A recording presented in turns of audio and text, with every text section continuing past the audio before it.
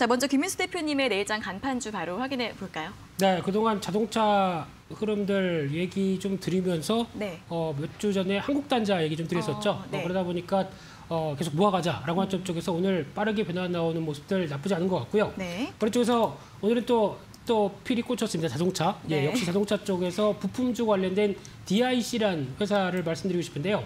어, 잘 모르실 것 같아서 어, 음. 좀 자세히 말씀드리면 원래 농기계 부품 쪽으로 출발한 회사입니다. 네. 근데 이 회사가 자동차, 굴삭기, 오토바이 이런 쪽으로 부품을 점점 확정하기 시작하면서 이 트랜스미션이나 이제 어, 관련된 기어 이쪽에 대해서 어느 정도 기술을 닦다 보니까 어느 정도 국산화에 성공했던 부분들이 어, 전자식 변속 레버 SBW라고 있는데 이쪽이 테슬라에 납품하기 시작하면서 부각을 받기 시작했죠. 그런 쪽에서 또 국내 전기차 쪽에 현대기아차 쪽으로는 어, 감속기 관련된 쪽으로 또 납품을 하기 시작하다 보니까 그에 따른 실적들이 이제 올해 1분기부터 나오기 시작한다는 관점 쪽에서 주목을 하고 있는데 그동안은 실적이 상당히 안 좋았습니다. 아, 그러다가 이런 부분들이 이제 어떤 전기차의 모멘텀과 함께 바뀌고 있다라는 관점 쪽에서 시장은 바라보고 있는데 그래서 올해 예상 실적 나온 부분들 대비해서 보게 되면 지금 주가 수준이 어, 한 7.5배, PER 7.5배 수준이다라는 쪽이 어, 그래도 저평가라고 보여지고 있는데 하나 숙제가 있습니다. 좀 부채 비율이 많습니다. 그렇기 때문에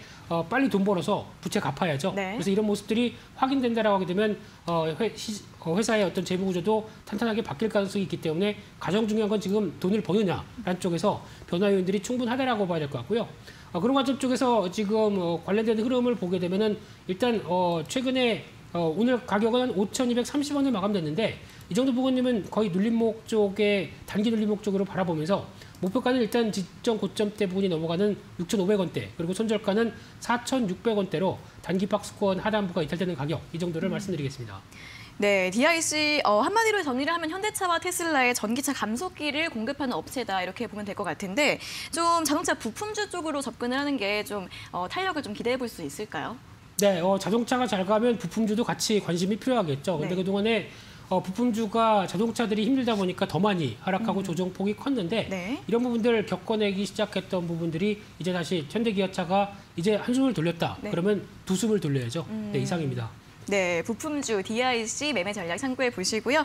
자, 이어서 이제 김병수 PB님의 내장 간판주 확인해 보도록 하겠습니다.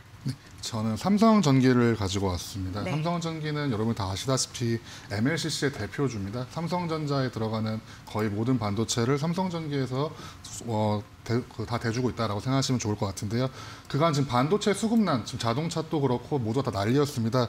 이런 반도체 수급난을 겪었기 때문에 요 재고 확보를 위해서 고객사들이 이제 재고 확보에 나섰습니다. MLCC, MLCC에 대한 생산량이 이제 급증하기 시작을 했고요. 요 급증하게 된, 급증하게 되었고 이제 삼성전기가 요 수혜를 받기 시작하실 시작할 거로 예상이 됩니다. 특히 코로나19로 인해서 언택트 효과로 노트북이라든지 이런 전자기기 매출이 굉장히 많이 증가한 상태에서 요 다음 이제 다음 반도체로 아마 이 매출이 다 이어질 것으로 예상이 되고 있습니다. 특히 이번에 그 26일에 그 다트에 따른 공시에 따르면은 이 MLCC 삼성전기가 텐진에서 중국에서 생산하는 이 MLCC가 거의 earning surprise급으로 나왔다고 작년 올해 1분기 매출이 전년 동기 대비 49% 이상 성장했고 당기 순이익은 397억 원을 흑자 전환이 됐습니다. 작년에는 77억 원으로 순 손실을 냈었는데 이번 텐진 공장에서 그 삼성전기 텐진 공장에서 이런 존재감을 드러냈기 때문에 어, 중국향 이쪽에서 중국 쪽에서 이런 MLCC나 이런 반도체 쪽 이런 수요가 늘어나는 것으로 확인할 수가 있고 어, 차트를 보시다시피 16만 5천 원대에서 좀 오랫동안 많이 눌려 있었습니다. 16만 5천 원을 벗어나서 이제 16만 8천 원 까지 오늘은 기록이 되고 있고요. 요 이상으로 봤을 때 제가 음, 주가까지 말씀을 드린다면은 매수가는 내일 시초가 정도로 들어가서 16만 8천 원 under에서 들어가셔서 목표가는 20만 원으로 거- 보고 손절가는 15만 8천 원까지로 지켜보고 매수 대응 나가시면은 괜찮은 투자가 되지 않을까라고 생각을 하고 있습니다.